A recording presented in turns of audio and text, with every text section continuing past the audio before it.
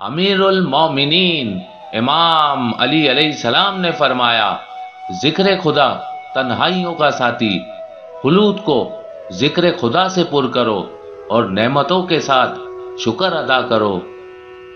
सबसे बड़ी दौलत और तंगदस्ती, सबसे बड़ी दौलत अकल और दानिश है और सबसे बड़ी नादारी हिमाकत और बेअकली है।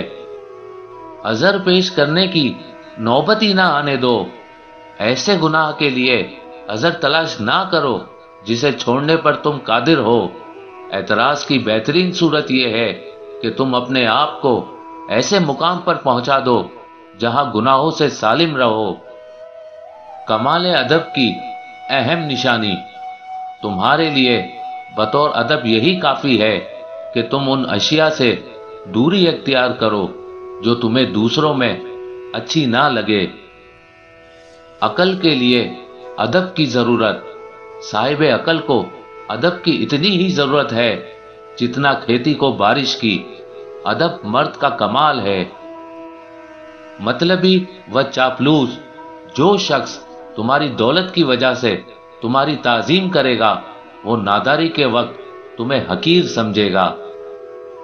माफ़ी के लिए ममनू अफराद, इस शख्स से माफ़ी ना मांगो। जो तुम्हारे लिए किसी अजर के ना होने को पसंद करता हो।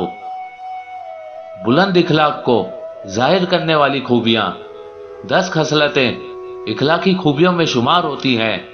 सखावत, हया, सदक, अमानतदारी, तवाज़ा, गैरत शुजात बुर्दबारी, सबर और शुक्र।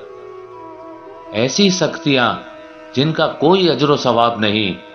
इश्क ऐसा मर्ज है कि जिसका ना कोई अजर है, ना सवाब। शिफ्तगी के बहुत से पौधे एक ही निगाह में बो दिए जाते हैं। बुराइयों से बचाने वाली बेहतरीन सिफत जो इबरत हासिल करके सुधर जाता है, वो बुराइयों से बचा रहता है।